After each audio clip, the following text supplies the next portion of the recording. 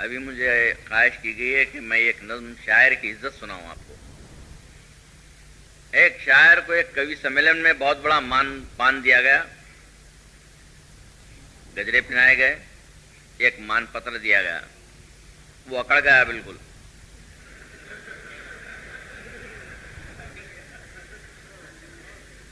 और पुट्ठे की तरह अकड़ के बाहर जाने लगा।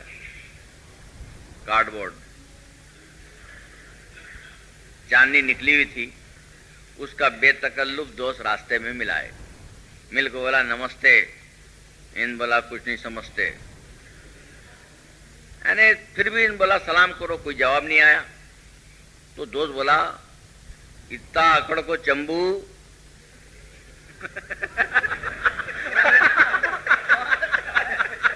भाई वाह।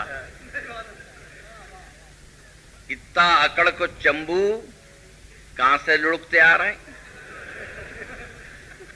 इतना अकड़ को चंबू कहाँ से लुढ़कते आ रहे कमर लपकते जा रही है, थापा को थाप खा रहे कन्ने, कमान, बद्दे मट्टी में मिल को जाएँगे।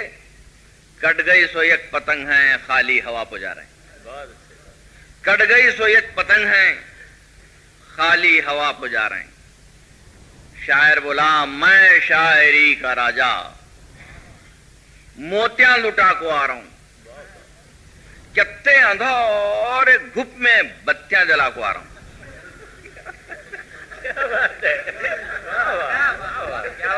मैं शायरी का राजा, मोतियाँ लुटा को आ रहा हूँ। अरे कितने अंधोर घुप में बत्तियाँ जला को आ रहा हूँ।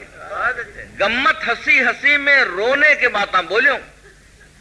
पत्थर दिला को काले पानी बना को आ रहा हूँ। ये शायरी है प्यारे, गुड़िया का खेल नहीं है। ये लाल लहू है मेरा, तेली का तेल नहीं है। ये लाल लहू है मेरा, तेली का तेल नहीं है। लोगा भी बहुत खुश थे मुंडिया हिला रहे थे।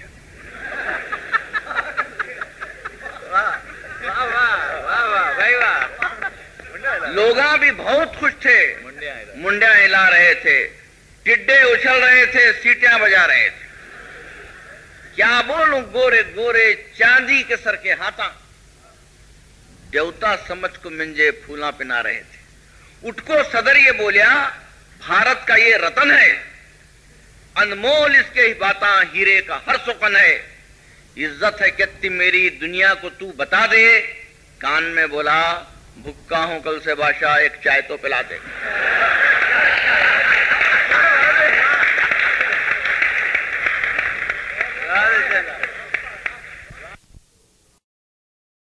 Suleman Khatib memorial educational cultural and charitable trust Gulbarga India.